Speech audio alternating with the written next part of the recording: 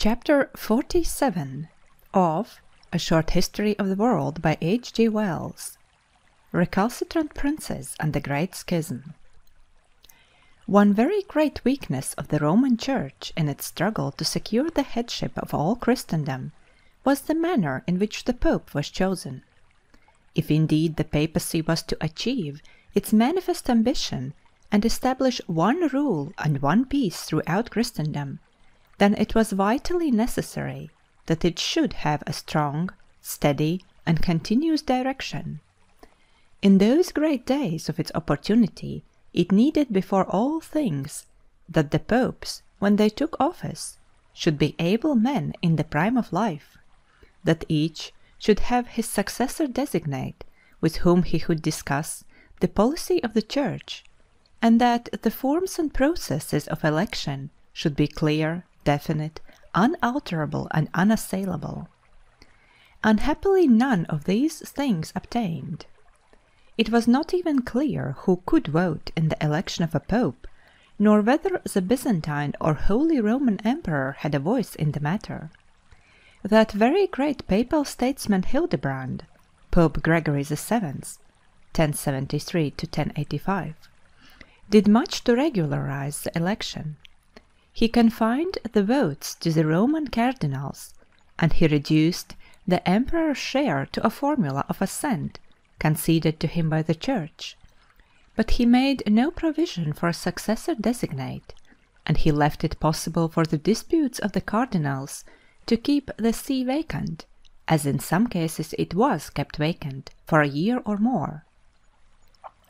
The consequences of this want of firm definition are to be seen in the whole history of the papacy up to the sixteenth century. From quite early times onward there were disputed elections, and two or more men each claiming to be pope. The Church would then be subjected to the indignity of going to the emperor or some other outside arbiter to settle the dispute and the career of every one of the great popes ended in a note of interrogation.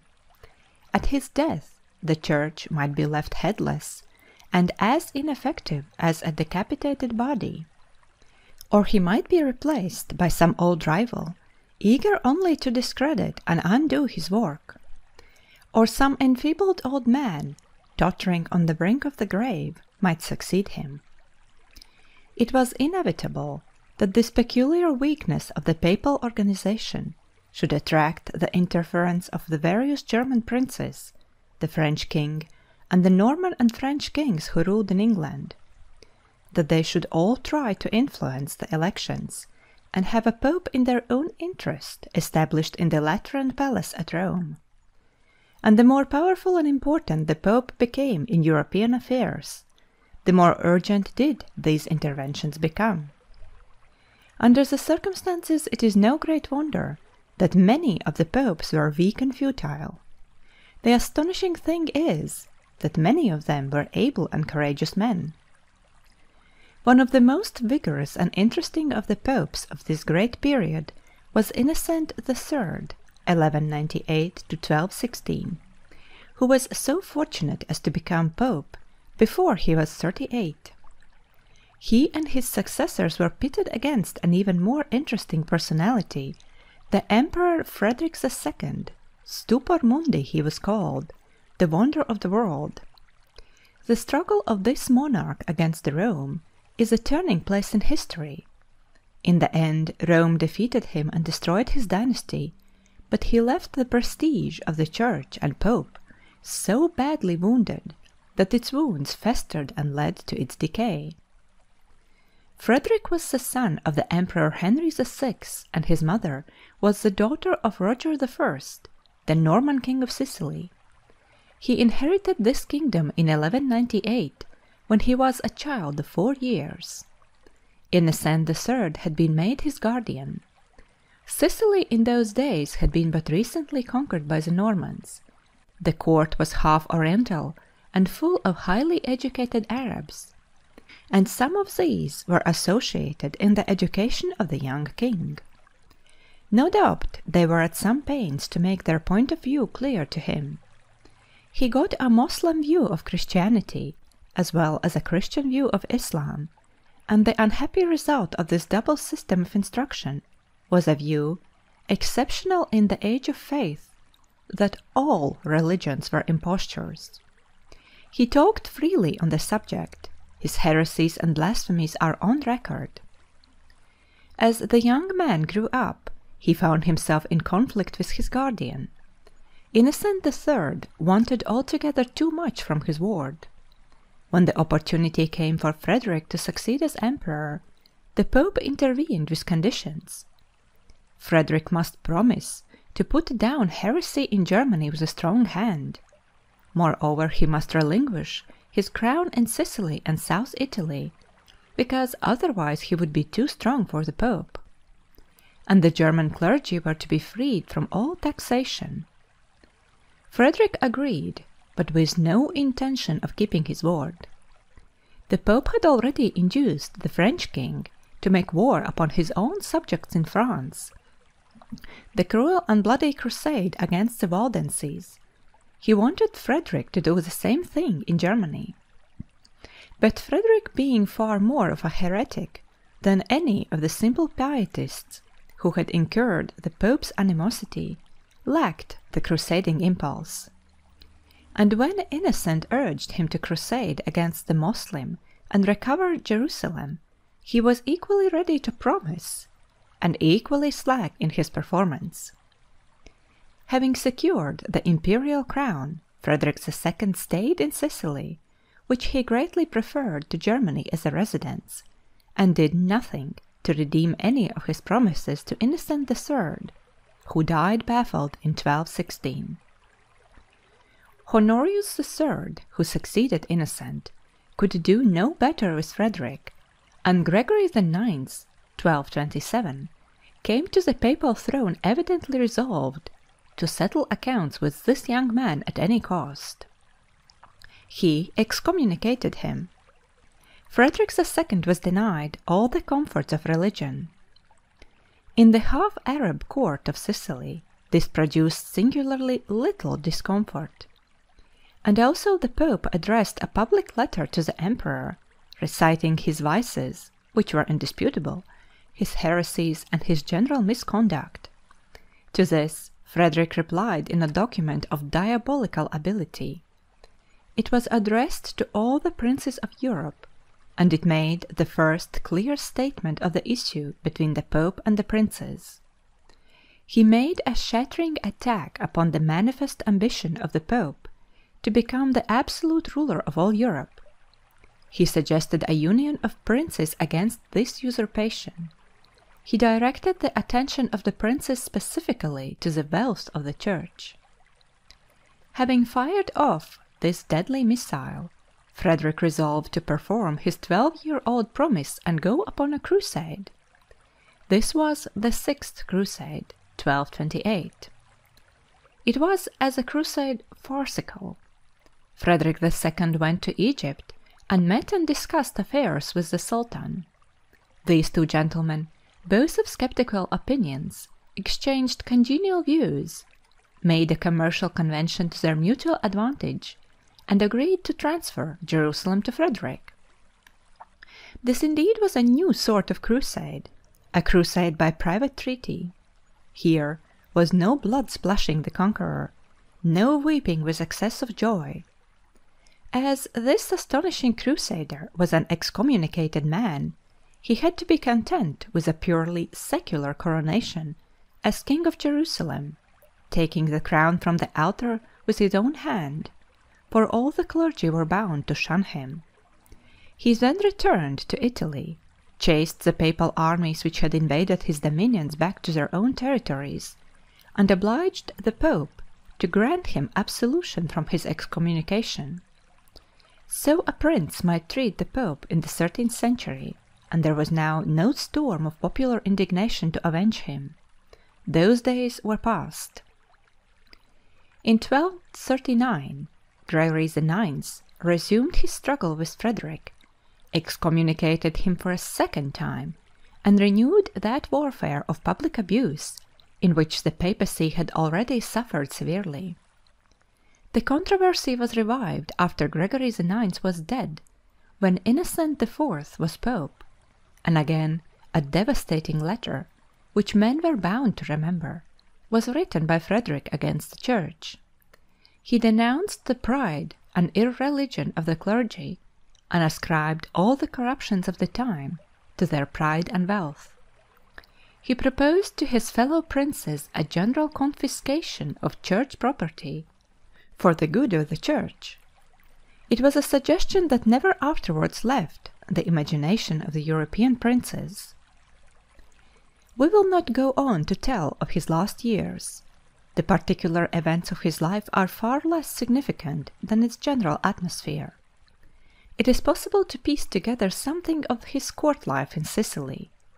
He was luxurious in his way of living, and fond of beautiful things. He is described as licentious, but it is clear that he was a man of very effectual curiosity and inquiry. He gathered Jewish and Moslem as well as Christian philosophers at his court, and he did much to irrigate the Italian mind with Saracenic influences. Through him the Arabic numerals and algebra were introduced to Christian students, and among other philosophers at his court was Michael Scot, who translated portions of Aristotle and the commentaries thereon of the great Arab philosopher Averroes of Cordoba. In 1224 Frederick founded the University of Naples, and he enlarged and enriched the great medical school at Salerno University. He also founded a zoological garden. He left a book on hawking, which shows him to have been an acute observer of the habits of birds and he was one of the first Italians to write Italian verse. Italian poetry was indeed born at his court. He has been called by an able writer the first of the moderns, and the phrase expresses aptly the unprejudiced detachment of his intellectual side. A still more striking intimation of the decay of the living and sustaining forces of the papacy appeared when presently the popes came into conflict with the growing power of the French king. During the lifetime of the Emperor Frederick II, Germany fell into disunion, and the French king began to play the role of guard, supporter, and rival to the Pope that had hitherto fallen to the Hohenstaufen emperors. A series of popes pursued the policy of supporting the French monarchs French princes were established in the kingdoms of Sicily and Naples with the support and approval of Rome, and the French kings saw before them the possibility of restoring and ruling the empire of Charlemagne. When, however, the German interregnum after the death of Frederick II, the last of the Hohenstaufens, came to all end, and Rudolf of Habsburg was elected first Habsburg Emperor (1273), the policy of Rome began to fluctuate between France and Germany, varying about with the sympathies of each successive pope. In the East, in 1261, the Greeks recaptured Constantinople from the Latin emperors, and the founder of the new Greek dynasty, Michael Palaeologus, Michael VIII, after some unreal tentatives of reconciliation with the Pope, broke away from the Roman communion altogether and with that, and the fall of the Latin kingdoms in Asia, the eastward ascendancy of the popes came to an end. In 1294 Boniface VIII became pope. He was an Italian, hostile to the French, and full of a sense of the great traditions and missions of Rome. For a time he carried things with a high hand. In 1300 he held a jubilee and a vast multitude of pilgrims assembled in Rome. So great was the influx of money into the papal treasury that two assistants were kept busy with the rakes collecting the offerings that were deposited at the tomb of St. Peter. But this festival was a delusive triumph. Boniface came into conflict with the French king in 1302, and in 1303, as he was about to pronounce sentence of excommunication against that monarch, he was surprised and arrested in his own ancestral palace at Anagni by Guillaume de Nogaret.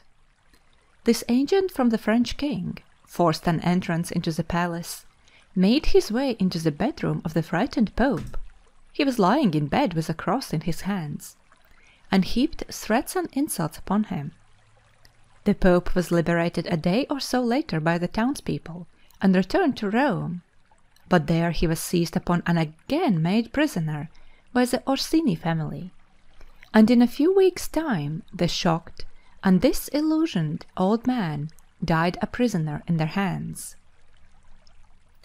The people of Anagni did resent the first outrage and rose against Nogaret to liberate Boniface, but then Anagni was the Pope's native town. The important point to note is that the French king in this rough treatment of the head of Christendom was acting with the full approval of his people. He had summoned a council of the three estates of France Lords, Church, and Commons and gained their consent before proceeding to extremities. Neither in Italy, Germany, nor England was there the slightest general manifestation of disapproval at this free handling of the sovereign pontiff. The idea of Christendom had decayed until its power over the minds of men had gone. Throughout the fourteenth century the papacy did nothing to recover its moral sway. The next pope elected Clement V, but a Frenchman, the choice of King Philip of France. He never came to Rome. He set up his court in the town of Avignon, which then belonged not to France but to the Papal See, though embedded in French territory, and there his successors remained until 1377, when Pope Gregory XI returned to the Vatican Palace in Rome. But Gregory XI did not take the sympathies of the whole Church with him. Many of the cardinals were of French origin, and their habits and associations were rooted deep at Avignon. When in 1378 Gregory XI died, and an Italian, Urban VI, was elected, these dissentient cardinals declared the election invalid, and elected another pope, the antipope Clement VIII. This split is called the Great Schism. The popes remained in Rome, and all the anti French powers the emperor, the king of England, Hungary, Poland, and the north of Europe were loyal to them. The anti popes, on the other hand, continued in Avignon and were supported by the king of France, his ally the king of Scotland, Spain, Portugal, and various German princes. Each pope excommunicated and cursed the adherents of his rival (1378 to 1417). Is it any wonder that presently all over Europe people began to think for themselves in matters of religion? The beginnings of the Franciscans and Dominicans, which we have noted in the preceding chapters, were but two among many of the new forces that were arising in Christendom, either to hold or shatter the Church as its own wisdom might decide. Those two orders the Church did assimilate and use, though with a little violence in the case of the former. But other forces were more frankly disobedient and critical. A century and a half later came Wycliffe (1320 1384). He was a learned doctor at Oxford. Quite late in his life he began a series of outspoken criticisms of the corruption of the clergy and the unwisdom of the Church. He organized a number of poor priests, the Wycliffites, to spread his ideas throughout England, and in order that people should judge between the Church and himself, he translated the Bible into English. He was a more learned and far abler man than either St. Francis or St. Dominic. He had supporters in high places and a great following among the people. And though Rome raged against him and ordered his imprisonment, he died a free man. But the black and ancient spirit that was leading the Catholic Church to its destruction would not let his bones rest in the grave. By a decree of the Council of Constance in 1415 his remains were ordered to be dug up and burned, an order which was carried out by the command of Pope Martin V by Bishop Fleming in 1428. This desecration was not the act of some isolated fanatic; it was the official act of the Church. End of chapter XLVIII.